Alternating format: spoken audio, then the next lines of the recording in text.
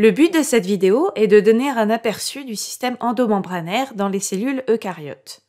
Donc le système endomembranaire.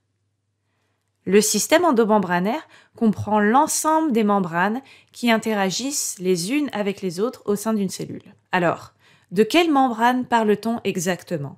Eh bien, on pourrait commencer par la membrane cellulaire elle-même. Et il faut savoir que toutes les membranes du système endomembranaire sont dotées de bicouches de phospholipides. Parfois, notre cerveau s'embrouille et on parle à tort de couches bilipidiques, mais ce sont en fait des bicouches de phospholipides. Donc, si je faisais un zoom juste là, sur cette ligne, il s'agit d'une bicouche phospholipidique qui ressemble à ça, avec donc les têtes hydrophiles qui pointent vers l'extérieur et puis les queues hydrophobes qui sont orientées vers l'intérieur de la cellule. Donc, les têtes hydrophiles pointent vers l'extérieur et les queues hydrophobes sont tournées vers l'intérieur, et ainsi de suite. Si on considère ce schéma de la gauche vers la droite, on a deux couches, donc une bicouche, de phospholipides. Et c'est le cas pour la membrane cellulaire, mais aussi pour la membrane externe du noyau, juste ici. D'ailleurs, on l'avait déjà représenté pour la vidéo sur le réticulum endoplasmique. Et ici, quand tu observes ces deux lignes-là, tu pourrais te demander, ok, est-ce qu'il s'agit d'une bicouche? Eh bien non. En fait, il s'agit de deux bicouches. Donc, cette membrane juste ici est une bicouche phospholipidique, et cette autre membrane-là est également une bicouche phospholipidique. Je vais utiliser une autre couleur pour bien les différencier. La bicouche sur laquelle je suis en train de repasser en magenta, c'est la membrane externe de l'enveloppe nucléaire. Elle est continue avec la membrane du réticulum endoplasmique que je suis en train de mettre en évidence juste ici. Alors que l'autre membrane que je surligne en violet, c'est la membrane interne de l'enveloppe nucléaire. Et tout cela fait partie du système endomembranaire. On a déjà évoqué le réticulum endoplasmique et on en parle davantage dans la vidéo sur le réticulum endoplasmique et l'appareil de Golgi. Mais cela fait aussi partie du système endomembranaire et le réticulum endoplasmique en particulier peut représenter jusqu'à 50%, parfois même plus, des membranes phospholipidiques de la cellule. On a déjà discuté de ce qui se passe dans la lumière du réticulum endoplasmique. Donc, dans cette zone, juste là, des protéines sont synthétisées, mais aussi d'autres molécules comme les lipides. Ensuite, ces molécules peuvent transiter jusqu'au réticulum endoplasmique lisse, jusqu'à une zone où elles peuvent ensuite en sortir.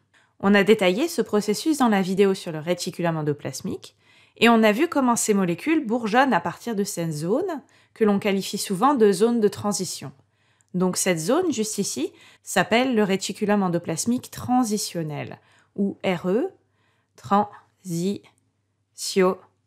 transitionnel.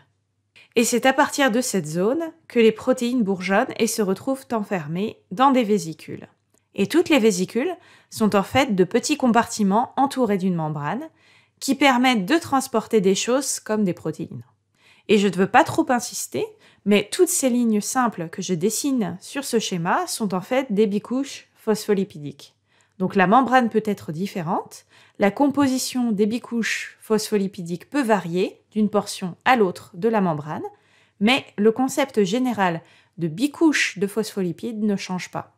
Pour résumer, ces protéines peuvent bourgeonner à partir du RE transitionnel et se frayer un chemin jusqu'à l'appareil de Golgi. On a vu précédemment comment ces protéines sont maturées dans l'appareil de Golgi.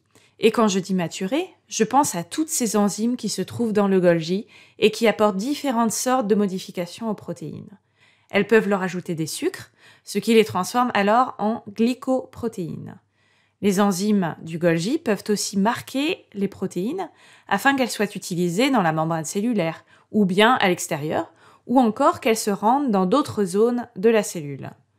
Par exemple, cette protéine qui vient juste de bourgeonner et se trouve maintenant dans une vésicule se dirige vers l'appareil de Golgi. La membrane de la vésicule peut alors fusionner et libérer la protéine dans l'appareil de Golgi. À partir de là, la protéine peut être maturée et pourquoi pas transformée en glycoprotéine.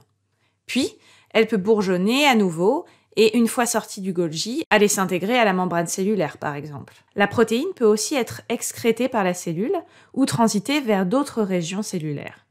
Et tout ce dont on vient de parler ne concerne qu'une partie du système endomembranaire. Il existe d'autres structures, telles que les vacuoles, qui sont des organites cellulaires délimités par une membrane. Dans les cellules végétales, la vacuole sert au stockage, mais aussi à la structure.